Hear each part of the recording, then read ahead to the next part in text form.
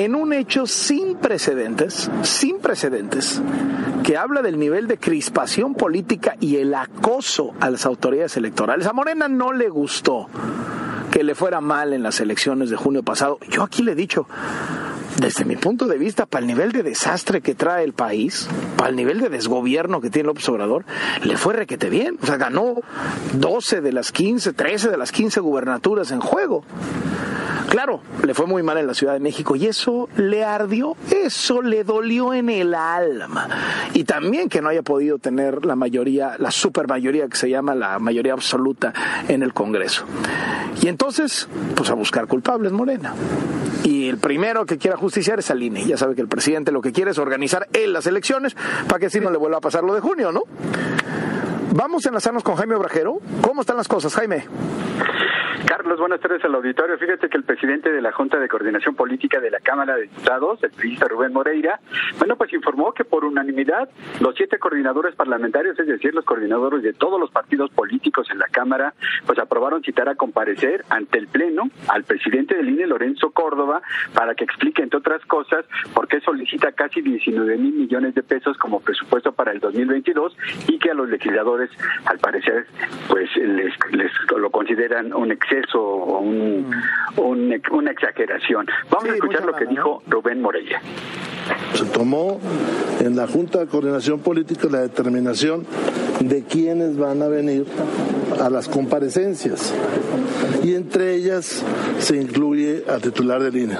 Él viene a comparecer ante los temas presupuestales y ante las preguntas que les hagan las y los diputados en los términos de la ley reglamentaria que pueden citar a cualquier servidor público. Y el acuerdo es por unanimidad de todas las fuerzas políticas. Ante el Pleno.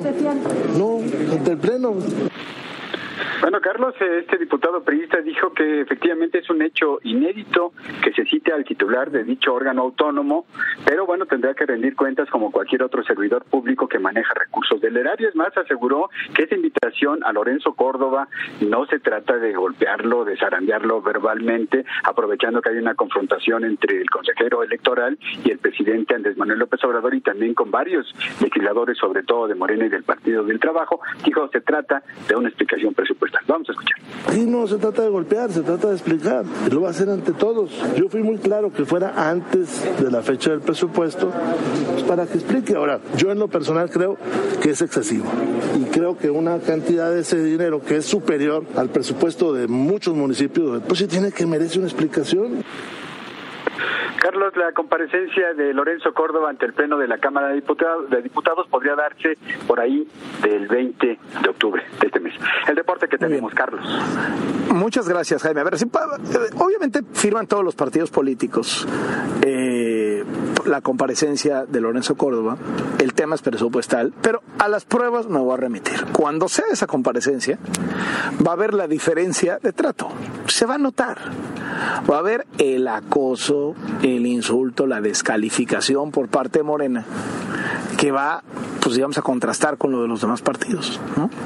Entonces, no nos vayamos con la finta de que porque todos los partidos lo citaron a comparecer, pues no, no, no, esto impulsado por Morena y, y, porque el presidente lo ha dicho, lo ha dicho con toda claridad, lo ha dicho con todas sus letras, él detesta al INE, quiere arrasar con el INE y a él lo que le gustaría es que el gobierno organizara las elecciones como se hacía cuando el PRI no perdía ninguna elección, hace 30 años en México.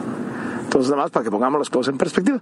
Al tiempo, vamos a ver, cuando sea la comparecencia, a ver cómo le va a Lorenzo Córdoba y cómo lo tratan los distintos partidos. Vamos al siguiente tema de sobremesa.